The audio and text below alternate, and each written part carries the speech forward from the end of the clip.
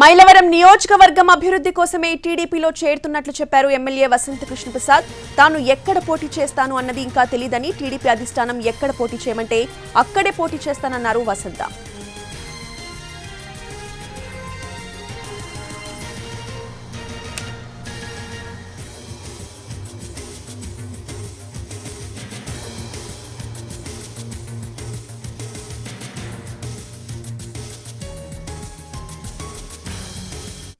లో ఖచ్చితమైన ప్రకటన చేశాను.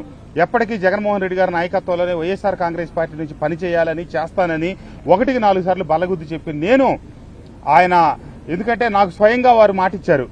ఎన్నికలకు ముందు నేను కలిసినప్పుడు అమరావతి మీద నిర్ణయం మీ నిర్ణయం ఏంటని అడిగితే ఖచ్చితంగా నేను ఇక్కడ ఇల్లు కట్టుకుంటున్నాను ఆఫీస్ కట్టుకుంటున్నాను అమరావతి ఇక్కడే ఉంటుందని చెప్పి మాట మార్చారు.